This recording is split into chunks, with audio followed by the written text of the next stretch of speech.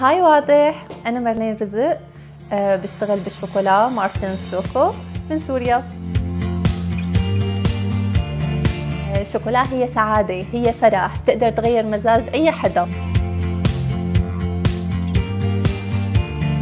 هي آه، مطلوبة من الكل من الصغار من الكبار. المبسوط بده شوكولا الزعلان بده شوكولا.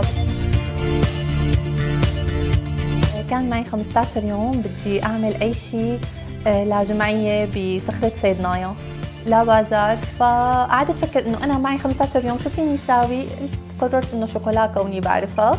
ولما صار البازار كثير حبيت اللي شفته من العالم من الآراء اللي هي قلت بدي آه، كفي فيها.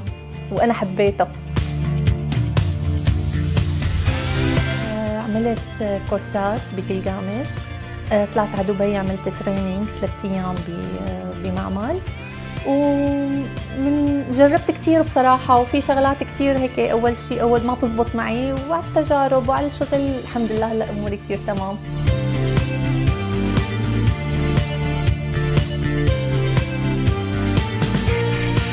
وقت رحت على سويسرا رحنا على معمل للشوكولا. آه، فقبل ما أنا أجيب أي قطعة أطلع كل وحدة شو فيها محتوياتها. آه، يعجبني الأمبلاج يلفت لي نظري الأمبلاج هذا الشيء كثير ساعد بالشيء اللي أنا عملته لمشروعي الخاص آه، أطلع فيها شو فيها؟ حتى بتمني أوكي عم دوقها بدي دوق التفاصيل فيها كلها.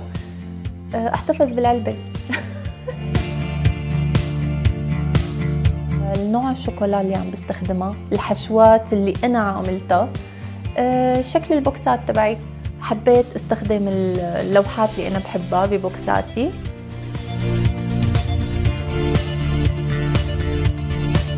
تقريبا هلأ أنا بعمل 40 أو 50 نوع للشوكولا حشوات يعني.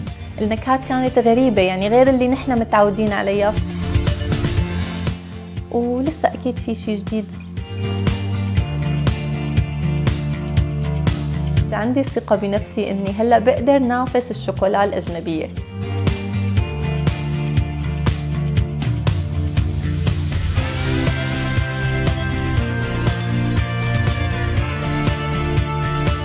جوزي شاف فأول ما بلشت أعمل الشوكولا بدي ذوقه انه شوف شو رأيه. وأنا خايفة الصراحة. إيه لا كثير حبهم بس اللي دعمني رفقاتي الصراحة إيه اولادي لما شافوا الشغل كل مين شافه شجعني.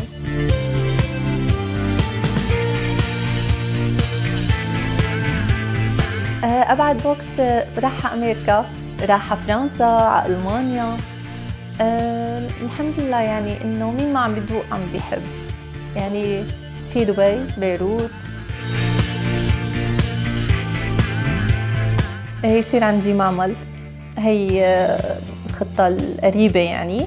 أعمل معمل والكادر يكون عندي وأقدر بقى قدرة إنتاجية تكون عالية. أكيد بحلم إني روح أحضر المهرجان الشوكولا بإيطاليا. هذا عندي حلم.